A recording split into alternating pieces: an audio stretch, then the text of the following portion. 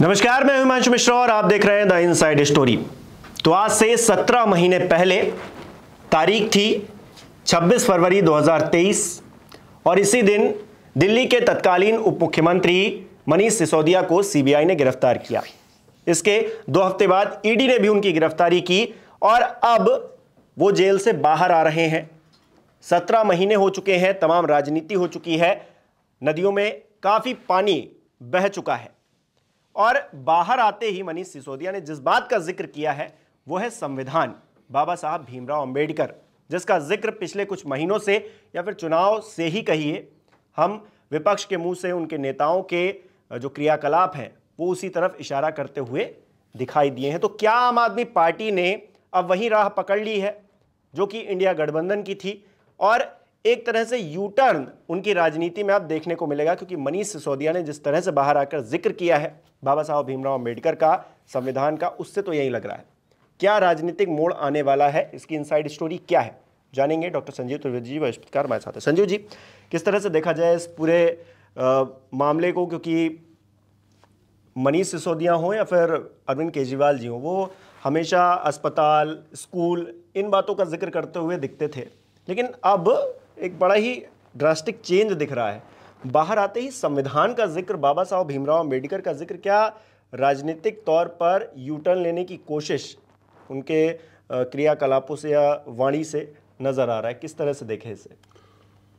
देखिए, इसके दो कारण हैं और पहला कारण जो है, वो तो व्यक्तिगत है और दूसरा जो मौजूदा राजनीति है, उस नाव में आते के साथ सवार हो जाने की उनकी अपनी गरज है। सिसोदिया मत भूलिए कि एक बहुत ही सामान्य परिवार से आने वाले व्यक्ति जिन्होंने जीवन में संघर्ष किया और वो एक ऊंचाई तक पहुँचे और ज़ाहिर है कि उनके और उनके कुटुंब उनके परिवार के लिए ये बहुत ही झटके की बात थी कि वो जेल चले गए। एक ऐसे अपराध में जिसमें कि पाया ये गया कि पैसे की लेन देन और हेरा फेरी शराब की नीति बनाने के लिए की गई। मध्य वर्ग का कोई भी व्यक्ति बहुत आसानी से पचा नहीं सकता इस तरह के आरोप अगर उस पर लगे तो। वो भी हमारी आपकी तरह टीवी पत्रकार थे एक ज़माने में। सिसोदिया जब उनके बेल की खबर आई आज संयोग था मैं संसद में था तो मैं एक पूर्व सांसद जो कि पिछले हाउस में सांसद थे, इस बार टिकट नहीं मिली थी भारतीय जनता पार्टी के। और जिनका करियर पुलिस में रहा है, उनसे बात कर रहा था। तो उन्होंने कहा कि ये तो ठीक ही हुआ, बहुत गलत हो हो रहा था। तो हमने कहा, आपने तो पुलिस में पूरा करियर गुजारा है, आप बताइए कि क्या गलत हो रहा था? तो ऑफ़ द रिकॉर्ड बात है, इसीलिए नाम नहीं बता पा रहा हूँ। तो उन्होंने यही कहा कि अरे भाई आपने अरेस्ट किया। छः महीने हो गए आठ महीने हो गए ट्रायल आपका शुरू नहीं हो रहा है। आप कर क्या रहे हैं उन्हें कितने दिन बंद रखेंगे? हम्म। तो एक सामान्य भाव था कि अब जो है उन्हें किस कारण से ज़बरदस्ती बार बार सीबीआई और ईडी कभी यहाँ फंसा कर कभी नई चीज़ बोल करके हमेशा कोशिश कर रहे थे कि जेल के भीतर रखा जाए। तो क्या वो राजनीतिक कारणों से था क्योंकि जो कायदा है जो नियम है वो तो यही कहता है कि अगर आपने अरेस्ट किया है तो चार्जशीट हो जाए हम्म। चार्जशीट हो जाए उस चार्जशीट को फ़ाइल करने के बाद चाहे वो ई e फ़ाइल करे ईडी या सीबीआई करे चार्जशीट फ़ाइल या फाइलिंग के बाद उसके बाद उसको डिफेंड किया जाए कोर्ट में कि भाई देखिए इनके खिलाफ ये ये ऑफेंसेस हैं और इसके ये ये सबूत और एविडेंसेस साक्ष्य हमारे पास हैं और फिर जो है ट्रायल शुरू हो जाए। पर भारतीय न्याय व्यवस्था आम लोगों को तो जिस तरह से ट्रीट करती है मत पूछिए। यहाँ तो वीआईपी उप हम्म। मुख्यमंत्री थे। इनके मामले में भी जैसा आप बता रहे हैं सत्रह महीने के बाद भी ट्रायल तो शुरू नहीं हुआ है या फिर अरविंद केजरीवाल के मामले में भी चल रहा है। और सारी जो जानकारियाँ जनमानस को आती हैं वो आती हैं। दरअसल कि यहाँ से बेल रिजेक्ट हुआ। वहाँ से बेल रिजेक्ट हुआ। हम्म। उस कोर्ट ने कहा इस अदालत में जाइए। उस कोर्ट ने कहा कभी भी हम लोगों ने शराब नीति के ऊपर आर्गुमेंट चल रहा है और उसमें कैसे ये सही हैं वो दोषी हैं इस तरह की बात कभी भी सामने आम आदमी के आई नहीं। कोर्ट में तो हम लोग यही सुन रहे हैं कि आ, बेल रिजेक्ट कर दी गई। बेल जो गिरफ्तारी हुई है वो गलत हुई है। ईडी ने गलत गिरफ्तारी की है तो ये इन बातों को लेकर आर्ग्यूमेंट हो रहा है जो मूल प्रश्न है। उस पर नहीं हो रहा है कुछ। उस पर नहीं हो रहा है। तो आज बाबा साहब का नाम लेने की वजह यही थी कि संविधान में जो ह्यूमन फ्रीडम है व्यक्ति की जो आज़ादी है उसको बड़ा महत्व दिया गया है। राइट टू फ्रीडम है ना? और right to freedom of speech and expression में हमारी हम्म। पत्रकार पत्रकारिता आ जाती है। हम्म। तो ये जो आज़ादी का अधिकार है व्यक्ति का ये संविधान गारंटी करता है। और अकारण आप किसी को जेल की सलाखों के पीछे नहीं रख सकते हैं। आपके पास वजह होनी चाहिए उसकी। हम्म, और सुप्रीम कोर्ट ने इसके पहले अरविंद केजरीवाल के केस में जब ईडी के मामलों में उन्हें बेल दे दिया और उसके बाद अब इनके केस में मनीष सिसोदिया के केस में भी ट्रायल शुरू नहीं हुआ। शुरुआत में कहा गया था छः आठ महीने में हो जाएगा। लेकिन आज अगस्त में बात हो रही है नहीं हुआ। तो ज़ाहिर है कि उनको बेल दिया गया है। तो ये एक व्यक्तिगत मामला था कि आज अगर इस तरह का संविधान हमारा न होता बाबा साहब भीमराव अंबेडकर उन्होंने ऐसा संविधान न बनाया होता तो शायद इस तरह से बाहर चले आना आसान न होता। एक कहावत है कि भगवान के घर देर है लेकिन अंधेर नहीं। तो ये कोर्ट्स के लिए भी लागू होता है क्या? मतलब जिस तरह का सिनेरियो देखने को मिला कोर्ट्स में देखिए कोर्ट्स में इस बात को लेकर के बड़ी जागृति आई है हाल के दिनों में कि वो कह रहे हैं कि आप बिना जेल को आप इस तरह से ट्रायल को बहुत देर से करना और बेल डिनाई करके उसको तात्कालिक सजा दे देना ये नहीं चलेगा। आपको अरेस्ट कर लेते हैं फिर खास तौर पर ईडी के मामले में अरेस्ट हो जाती है बेल होता नहीं है हम्म। तो आदमी सजा अपने अपराध की पाएगा वो तो बहुत बाद में जाकर के हम्म। अभी तात्कालिक तौर पे सजा पाने लगता है जब तक कि कोई फैसला भी नहीं आया है पता है लंबे लंबे अवधि तक आप जेल के भीतर हैं हम्म। तो कोर्ट्स नाव से कि नहीं ये नहीं चलेगा आपने देखा होगा राउज एवेन्यू कोर्ट की जज ने दे दिया था जब बेल अरविंद केजरीवाल को और हाईकोर्ट ने मना कर दिया उस बेल को हम्म। तो सुप्रीम कोर्ट ने दे दिया हम्म। उस बेल को क्योंकि बेल को आप रूल बनाइए और जेल को एक्सेप्शन बनाइए हम्म। ये ना हो कि उल्टा हो जाए अब देखिए ये व्यवस्था हमारे संविधान की है तो व्यक्तिगत कारण उनके लिए था कि आखिर बाहर आ सके तो संविधान की वजह से आ सके बाबा राव भीम बाबा साहब भीमराव अंबेडकर साहब के संविधान की वजह से आ सके उनके बनाए संविधान की वजह से आ सके। लेकिन उस संविधान के आज की तारीख में राजनीतिक मायने भी हैं। वो जो लाल किताब लेकर के कांग्रेस के लोग और अब तो उनके साथ साथ तमाम विपक्ष के लोग आगे बढ़ रहे हैं और ये कह रहे हैं कि मौजूदा सरकार मोदी जी की सरकार संविधान के खिलाफ काम कर रही है। और ये जब वो कह रहे थे लोकसभा चुनाव के पहले तो लगता नहीं था कि इस तरह के आर्ग्यूमेंट में कोई दम है लेकिन बहुत गहराई और बहुत बारीकी से स्ट्रैटी बनाई गई थी कि जब आप ये कहें कि मोदी सरकार संविधान के खिलाफ है तो अगली लाइन भी कहिए आपका आरक्षण खत्म कर देगी। हम्म। तो ये पूरी लाइन हुई। मोदी सरकार संविधान के खिलाफ है और आपका आरक्षण खत्म होने जा रहा है। 400 सांसद ला रहे हैं आरक्षण खत्म कर देंगे। ये जो पूरी सर, सर्किट बनी चक्रव्यूह। चक्रव्यूह बना और उसी में मोदी सरकार फंस तो गई ही और प्रतीक के रूप में वो छोटी वाली जो पॉकेट साइज़ कॉन्स्टिट्यूशन होती है बड़ी साइज़ नहीं पॉकेट साइज़ छह सौ रुपये में शायद बाज़ार में आती है हम्म। वो वाली कॉन्स्टिट्यूशन को लहराना है और वो एक प्रतीक बन गया। और इस तरह से आपने देखा कि कैसे संविधान खतरे में है संविधान अगर खतरे में है तो आरक्षण खतरे में है। और ये पॉलिटिकल नैरेटिव काम कर गया। बीजेपी वाले मान रहे हैं इसको। हम्म। अपनी बैठकों में उन्होंने बातें कही हैं कि दरअसल सत्ता पक्ष के खिलाफ एक नैरेटिव तैयार किया गया कि 400 सांसद आएँगे संविधान बदल देंगे और इसी कारण से हम चुनाव हार गए। उत्तर प्रदेश में भी ये कहा जा रहा है कर्नाटक में भी ये कहा जा रहा है। महाराष्ट्र में भी यही कहा जा रहा है कि 400 का गैम्बल हमें बड़ा नुकसानदेह साबित हुआ। अब की बार 400 पार। तो आते के साथ सिसोदिया ने जेल में अखबार तो आता ही है। उन्होंने पढ़ा होगा कि जो मूड ऑफ़ द सीज़न क्या है? संविधान बाबा साहब। तो एक व्यक्तिगत कारण उनको और एक सियासी कारण। राजनीतिक कारण क्यों?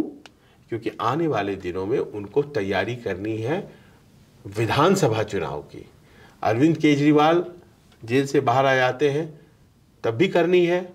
खुदा नखास्ता अगर वो नहीं आते हैं, तब भी करनी है, क्योंकि फरवरी में ही चुनाव। लेकिन मूल सियासत जो आम आदमी पार्टी की है, वो ना संविधान है, ना आरक्षण है ना कोई व्यक्ति विशेष है। उनकी तो स्कूल, शिक्षा, स्वास्थ्य मतलब इस तरह की चीज़ें वो अब तक करते आए हैं, फ्री फ्री बीज वो जिस तरह से कहते हैं कि जनता का पैसा है, जनता में ही जा रहा है। तो कोई दिक्कत नहीं है।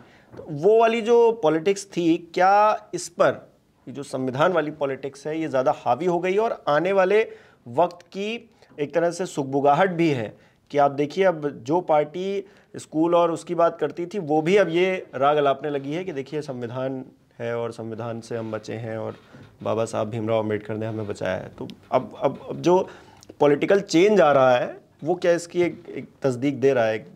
नज़ीर देखिए एक तस्वीर इसीलिए बन रही है ऐसी कि क्योंकि पूरे देश में अभी इस वक्त जो विपक्ष की राजनीति है वो आम तौर पर अगर आप देखें तो कांग्रेस के बताए लाइन पर चल रही है। कांग्रेस ने एक तरह से वो भूमिका इस बार निभाई है कि जन अधिकारों के सवाल पर सरकार को घेरा जाए और बहुत से आरोप जमा कर लिए हैं उन्होंने उन अधिकारों को इन आरोपों की कसौटी पर कसा जाए और बोला जाए कि देखिए आपके ये अधिकार चले गए ये अधिकार जाने वाले हैं ये अधिकार भविष्य में जा सकते हैं।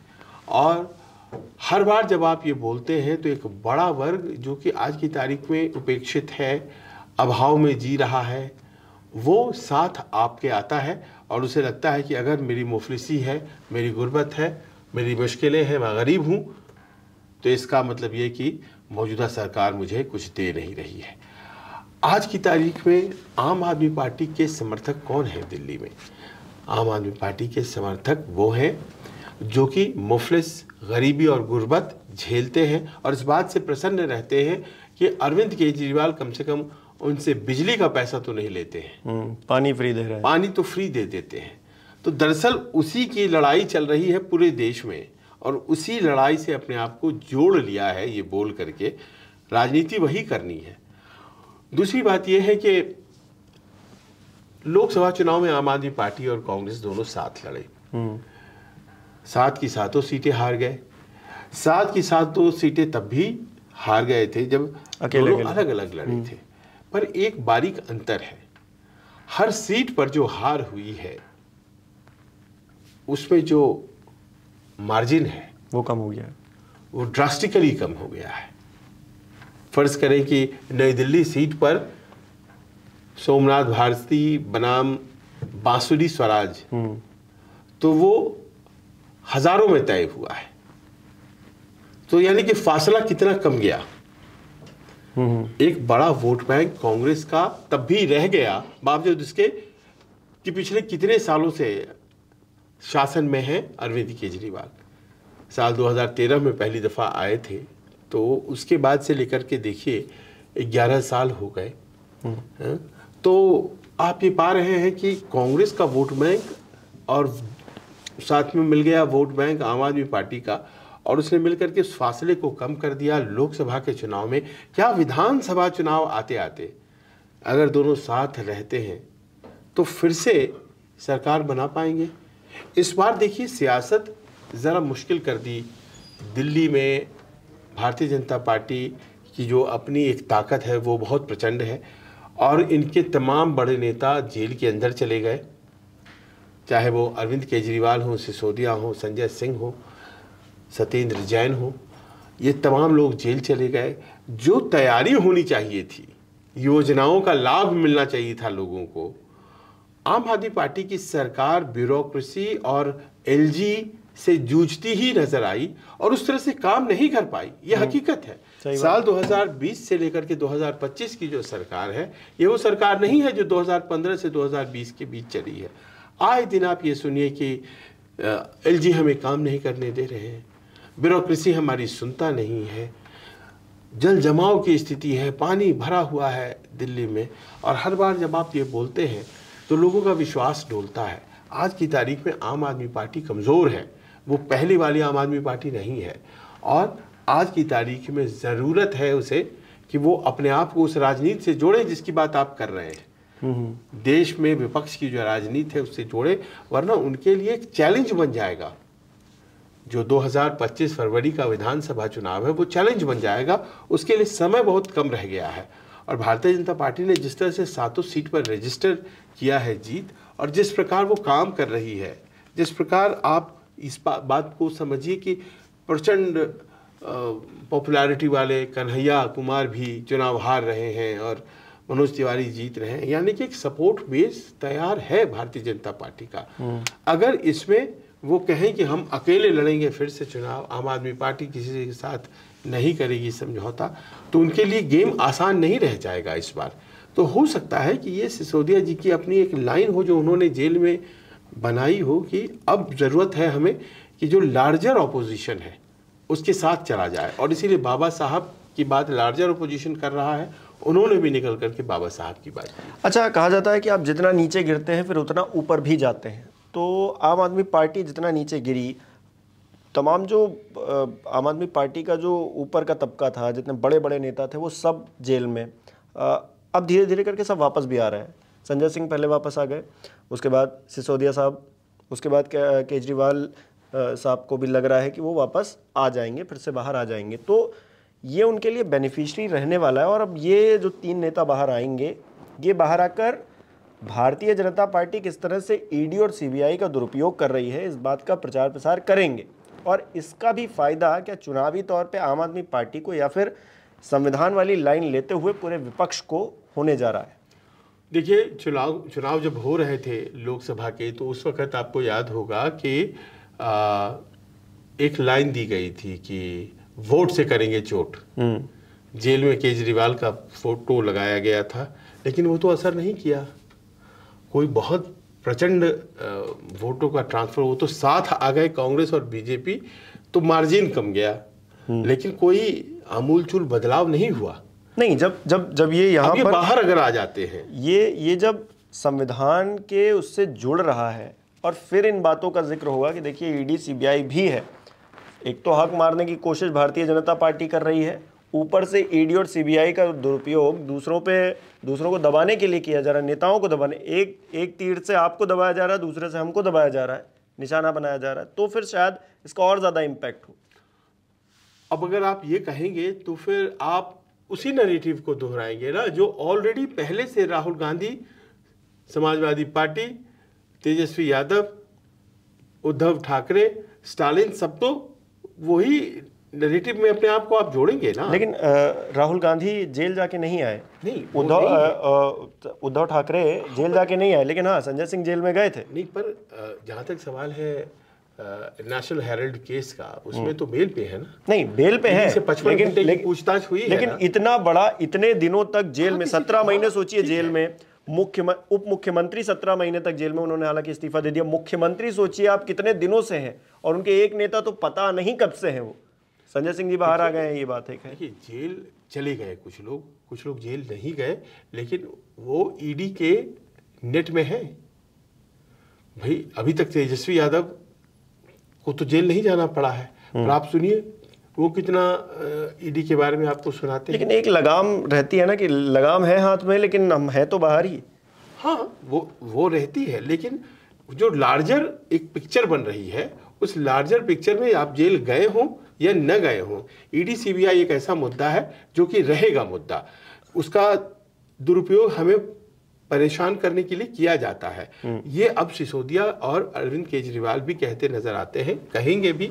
और इस तरह से मुझे लगता है कि परिस्थितियों ने उन्हें वो जो एक लार्जर नैरेटिव है ऑपोजिशन का वहाँ ला करके खड़ा कर दिया है। कोई अलहदा अलग राजनीति जो करना चाहते हैं अरविंद केजरीवाल अब शायद वो पॉसिबल नहीं होगी। देखिए हिमांशु इस बात को याद रखिएगा। जो बेस्ट टाइम था आम आदमी पार्टी का पिछले कुछ सालों में था उस तरह का बेस्ट टाइम दोबारा आएगा क्या? ये ये होने को कुछ भी हो सकता है। लेकिन दिल्ली में सरकार पंजाब में सरकार और जहाँ जहाँ उन्होंने चुनाव लड़ा वहाँ अच्छी खासी वोट संख्या लेकर के आए। गुजरात उसका एक उदाहरण है गोवा उसका एक उदाहरण है। कई जगह भारतीय जनता पार्टी की जीत ही इसलिए हुई क्योंकि वहाँ पर कांग्रेस के खिलाफ खड़े हो गए आम आदमी पार्टी और मामला त्रिकोणीय हो गया। ये दौर जो है अब शायद फ़िलहाल मुझे दिखाई नहीं पड़ रहा है। अरविंद केजरीवाल मुझे इसमें भविष्य इसलिए दिखाई दे रहा है क्योंकि अभी तक कहा जाता है ना कि जब तूफ़ान आता है तो जो अकेला और सीधा खड़ा रहता है वो टूट जाता है। तो अभी तक अरविंद केजरीवाल जी नहीं, हम अकेले लड़ेंगे। सब चोर हैं, एक नंबर के चोर हैं। सब राजनीतिक तौर पर अपना फ़ायदा देख रहे हैं। हम नहीं देख रहे हैं। अपना अकेले खड़े थे, तूफ़ान आया तो बिखर गए, टूट गए, जेल में चले गए। अब क्योंकि वो लाइन जो लेना शुरू किया है, वो जो अकेले खड़े थे, अब वो सबके साथ में आकर खड़े होने की कोशिश कर रहे हैं। थोड़ा सा झुकने की कोशिश की है तो अब जो तूफ़ान आए, शायद वो अपने आप को संभाल लें और अपनी राजनीति को आगे बढ़ा पाए। मुझे जैसा नज़र आ रहा है। संभव है? ये करने के अलावा उनके पास और कोई ऑप्शन भी तो नहीं है। आज की तारीख में अगर वो विपक्ष के साथ अपने आप को जोड़ लेते हैं तो बहुत अच्छी बात है। उस विपक्ष के साथ जो कि एक निश्चित लाइन पर लड़ रहा है हम्म। वो निश्चित लाइन जो अभी तक नहीं थी। जो नहीं इलेक्शन से पहले तक तो नहीं नज़र आ रही थी लेकिन हाँ अब नज़र आ रही है। नहीं इलेक्शन के पहले भी थी वो नतीजों के बाद लाइन ज़्यादा नज़र आने लगी है।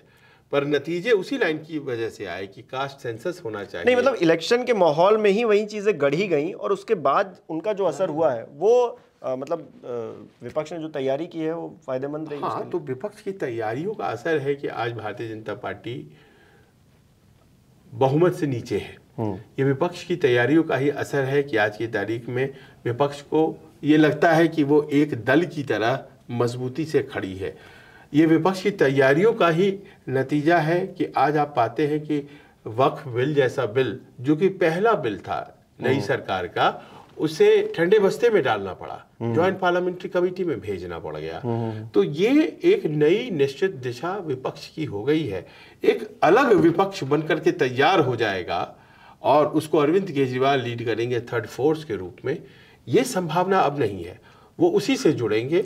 जो कि एक मज़बूत विपक्ष के रूप में आकार ले रहा है और 240 सीटें भारतीय जनता पार्टी की जो है वो कम नहीं होती हैं। अच्छा पहले बहुत सारे लोग ये कहते थे इलेक्शन से पहले कि राहुल गांधी को हम लीड नहीं करने देंगे, हम लीड करेंगे या फिर हमें मौका दिया जाए। लेकिन अब जो इस परिस्थितियाँ, स्थितियाँ बनी हैं, उसमें लीडर ऑफ़ अपोजिशन बन गए हैं सिर्फ़ इसलिए नहीं राहुल गांधी लीड कर रहे हैं। उन्होंने जो कमान संभाली है और उसमें थोड़ा बहुत मजबूती दी है कि स्थिरता दी है विपक्ष को इसलिए वो उनकी उनकी जो स्वीकारिता है वो विपक्ष के अंदर बढ़ी है। उनकी वो मुद्दे जोड़ रहे हैं। हाँ। उनसे जो कि पहले से उन्हीं मुद्दों की राजनीति कर रहे थे इसीलिए स्वीकारिता बढ़ी है। पिछड़ों की राजनीति। आरक्षण की राजनीति कास्ट सेंसस की राजनीति। हम्म। ये राजनीति नहीं थी कांग्रेस की। तो लोग ये कह रहे थे कि राहुल गांधी ये जो कर रहे हैं ये बचकानी हरकत कर वो राजनीति करते थे महँगाई की बेरोजगारी की ये तो मुद्दे हैं ही लेकिन चुनाव में वोट मिलते हैं इन मुद्दों से। जो मुद्दे आपको जातीय गोलबंदी की तरफ़ ले जाते हैं। इलेक्शन से पहले तो लोग कुछ चुनावी पंडित ये बातें किया करते थे कि देखिए राहुल गांधी जो कर रहे हैं वो उनकी परंपरागत राजनीति नहीं है वो पता नहीं किस लाइन पे निकल गए हैं। अब जब फ़ायदा हो रहा है तो वहीं चुनावी पंडित अब तारीफें कर रहे हैं। मैं ये नहीं कहूँगा कि इतना ज़्यादा फ़ायदा हो गया है कि चुनावी पंडितों को हम गलत अभी ठहरा पाए। क्योंकि ये बात हकीकत है कि जातीय राजनीति का एक बहुत बड़ा खतरा है और वो खतरा ये होता है कि जातीय राजनीति में फ़ायदा उन्हीं नेताओं को होता है जो उस जाति विशेष से आते हैं। हम्म। जैसे अगर पिछड़ों की राजनीति आप करते हैं तो पिछड़ों के नेता के रूप में अगर आप स्थापित हैं तो आपको लाभ होगा। राहुल गांधी एक नई इबारत लिखना चाह रहे हैं। हमने पूर्व में बहुत से नेताओं को फेल करते देखा है। उसके सबसे बड़े उदाहरण है वीपी सिंह जिन्होंने मंडल कमीशन लागू किया लेकिन वो पिछड़ों के नेता नहीं हो पाए। पिछड़ों के नेता उनके ही दौर में लालू और मुलायम हुए और बाकी दूसरे नेता हुए। आज अगर प्रधानमंत्री नरेंद्र मोदी हैं पिछड़ों के नेता हैं और पिछड़ों के नेता के तौर पर ब्रांडिंग करने में बीजेपी पीछे नहीं रहती है उनकी तो वो शायद इसलिए भी है कि वीपी सिंह ने मंडल कमीशन लागू किया था और एक आवाज़ जो है वो मिली थी। लेकिन नेता नहीं हो पाए वीपी सिंह क्या राहुल गांधी हो पाएँगे? ये बहस का विषय हो सकता है क्योंकि 40 सांसदों का बढ़ना जो है वो बहुत बताता नहीं है कि क्या दिशा तय हो गई है। दस सालों के इलेक्शन के बाद दस साल शासन करने के बाद भी 240 सांसद हैं अभी नरेंद्र मोदी के पास भारतीय जनता पार्टी के पास। मनमोहन सिंह जब तीसरी दफ़ा चुनाव में गए थे तो मात्र बयालीस सांसद लेकर आए थे। तो 240 सांसद लेना एक फॉर्मिडेबल फोर्स के रूप में लेकिन अब- स्थापित है। अब तो यही बात है ना कि ग्लास आधा भरा है या आधा खाली है। हाँ, विपक्ष इसे किस तरह से देखता है? विपक्ष से ज़्यादा बड़ी बात यह है आज की तारीख में कि लोग कैसे देखते हैं। उनके मुद्दे क्या मोदी जी फुलफिल कर रहे हैं। वक्त बदल गया है क्या? पिछला चुनाव व्हाट्सएप का चुनाव था। इस बार यूट्यूब पर जितने इस तरह के वीडियोस बने उन्होंने ओपिनियन शेप किया पिछली दफ़ा 2019 में व्हाट्सएप ने ओपिनियन शेप किया था। तो चीज़ें बदल रही हैं। लोगों को शायद अब कम लगने लगा है कि मोदी जी उनके मुद्दों को आकार देते हैं। अब चलिए बदलते दौर में आम आदमी पार्टी भी क्या बदल रही है? उसकी राजनीति भी क्या बदल रही है? क्योंकि आपने जैसे बताया 2013 में पहली बार सरकार बनाई थी। अब 11 साल बाद क्या नए शेप में, नए मुद्दों के साथ अपने आप को जोड़ते हुए अरविंद केजरीवाल की बातें और अब क्योंकि माफ़ कीजिएगा, मनीष सिसोदिया की बातें और उसके बाद अरविंद केजरीवाल भी जब बाहर आते हैं तो वो क्या कहते हैं? क्या वो भी इसी तरह की लाइन लेते हैं? ये देखना दिलचस्प रहेगा। आप हमें कमेंट करके बताइए कि मनीष सिसोदिया, अगर संविधान का ज़िक्र कर रहे हैं, बाबा साहब भीमराव अंबेडकर का ज़िक्र कर रहे हैं तो क्या आम आदमी पार्टी अपने राजनीतिक जो दिशा है, उसको बदलने की कोशिश कर रही है? आपको क्या लगता है? बताइए। बहुत बहुत शुक्रिया।